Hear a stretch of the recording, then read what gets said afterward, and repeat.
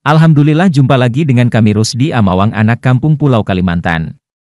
Pada kesempatan kali ini kami ingin mengupas fakta dan opini dari sudut pandang yang berbeda tentang ASN Indonesia.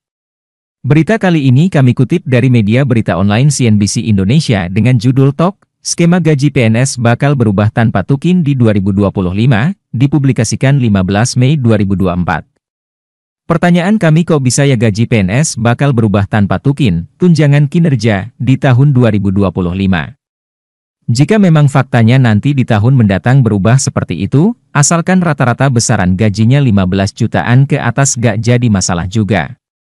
Supaya nantinya penghasilan ASN Indonesia jangan ada lagi yang di bawah standar harapannya. Coba kita simak dulu berita selengkapnya dari CNBC Indonesia terkait masalah ini. Jakarta, CNBC Indonesia. Tahun depan, skema gaji aparatur sipil negara, ASN, termasuk PNS dan PPPK akan berubah. Pemerintah berencana menerapkan skema gaji tunggal atau single salary. Hal ini terungkap dalam rancangan kerja pemerintah, RKP 2025 yang akan dijalankan di masa pemerintahan Presiden terpilih Prabowo Subianto Gibran Raka Buming Raka yang menjadi pemenang pemilihan Presiden 2024. Arah kebijakan bidang manajemen aparatur sipil negara berfokus pada pembenahan kelembagaan dan tata kelola manajemen aparatur sipil negara, serta perbaikan kesejahteraan aparatur sipil negara, seperti dikutip dari dokumen RKP 2025. Rabu, 15 April 2024. Adapun upaya transformasi ASN dalam RKP 2025 meliputi lima strategi. Pertama adalah transformasi budaya kerja dan kelembagaan manajemen ASN.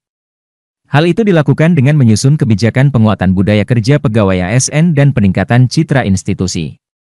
Selain itu, pemerintah juga akan melakukan penguatan tata kelola ASN melalui penyusunan kebijakan rencana kebutuhan, manajemen talenta, dan karir, profil basis data, kebijakan pengawasan penerapan prinsip sistem merit, dan pengembangan kompetensi tematik pegawai ASN.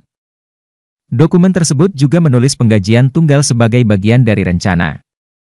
Penggajian tunggal ASN melalui penyusunan rekomendasi kebijakan fiskal manajemen kesejahteraan sumber daya manusia aparatur, tulis Bappenas.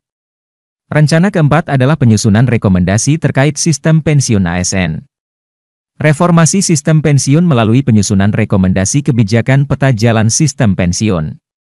Terakhir, Pemerintah berencana memberikan penghargaan dan pengakuan non-material melalui penyusunan rekomendasi kebijakan bantuan hukum, jaminan kesehatan, jaminan kecelakaan kerja dan kematian. Selain itu pemerintah akan menyusun rekomendasi kebijakan pemberian penghargaan bagi ASN yang bekerja di daerah tertinggal, terdepan, dan terluar. Apa itu skema single salary? Skema ini sebenarnya sudah sempat dibicarakan pemerintah dalam beberapa waktu terakhir. Salah satunya disampaikan oleh Menteri Pendayagunaan Aparatur Negara dan Reformasi Birokrasi, Panerbe, Abdullah Azwar Anas.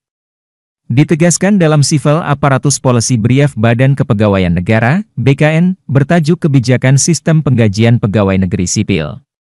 Desain gaji dan tunjangan pada 2017, Single Salary System adalah sistem gaji PNS yang hanya akan memuat satu jenis penghasilan yang merupakan gabungan berbagai komponen penghasilan. Single salary system yang diterapkan terdiri atas unsur jabatan, gaji, dan tunjangan, kinerja dan kemahalan, dan sistem grading atau pemeringkatan terhadap nilai atau harga jabatan akan ditetapkan dalam menentukan besaran gaji di beberapa jenis jabatan PNS.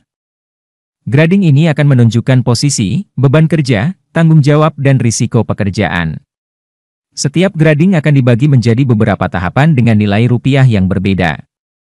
Oleh karena itu ada kemungkinan PNS yang mempunyai jabatan sama bisa mendapatkan gaji yang berbeda tergantung penilaian harga jabatan yang dilihat dari beban kerja, tanggung jawab, dan risiko pekerjaan. Itulah berita selengkapnya dari CNBC Indonesia. Terima kasih.